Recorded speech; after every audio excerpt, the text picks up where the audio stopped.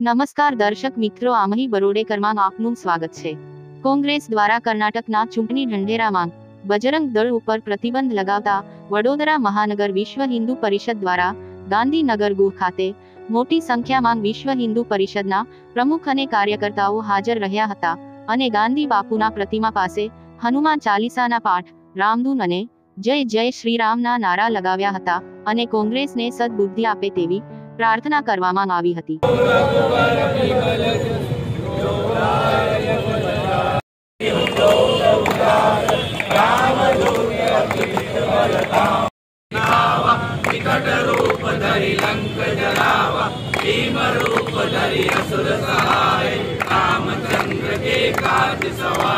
जम कुबेर दिगपाल जहाँ पे कवि गोविंद कही सके कहा पे तुम उपकार सुई वही राम विनाय लंकेश्वर गए सब जग जान सब सहस्र योजन परमान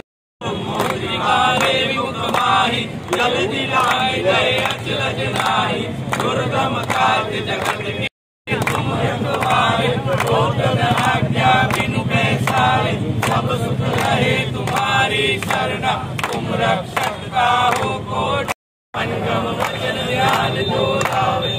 सब पर राम तपस्वी राजा इनके काज सकल तुम साजा और मनोरथ जो कोई लावे सोई अनित जीवन फल पावे चारों युग पर सीता रही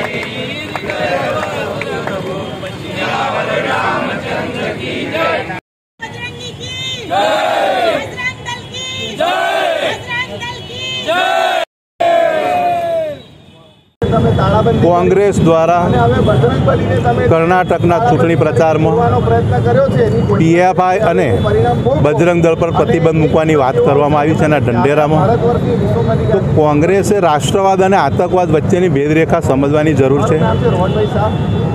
વિશ્વ હિન્દુ પરિષદની યુવા પાંખ બજરંગ દળ છે. બજરંગ દળ એ રાષ્ટ્રવાદી સંસ્થા છે. રાષ્ટ્રવાદી સંસ્થાને ક્યારેય તમે આતંકવાદી સાથે ન જોડી શકે.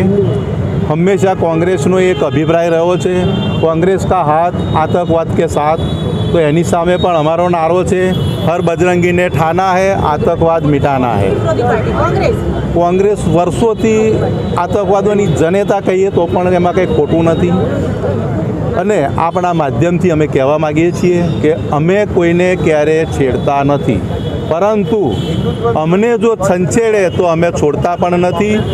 વર્ષો પહેલાં સતયુગમાં રાવણે બજરંગ બલીના પૂછડા પર આગ લગાવવાનું કાર્ય કર્યું હતું અને એનું પરિણામ આપણી સામે બધાની સામે હાજર છે.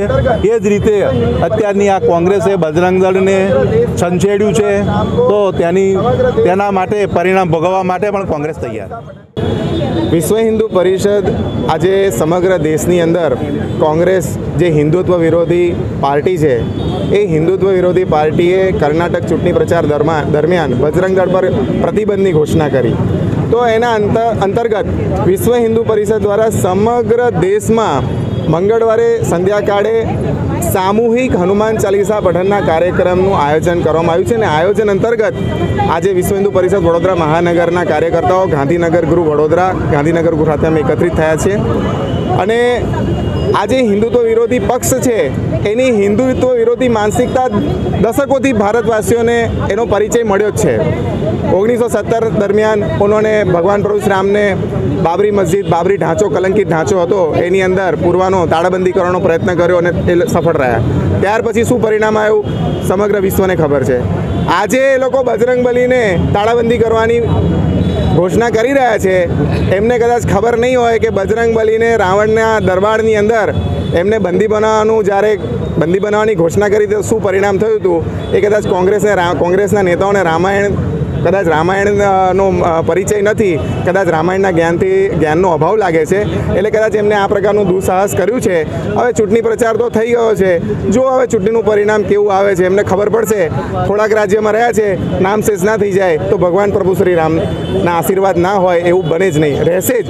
ભગવાન પ્રભુ શ્રી રામના આશીર્વાદ પ્રત્યેક ભારત પ્રત્યેક ભારતવાસી પર હિન્દુ પર છે. અને ચૂંટણી પ્રચિરા ચૂંટણીનો જે પરિણામ આવશે ભોગવા કોંગ્રેસ તૈયાર રહે.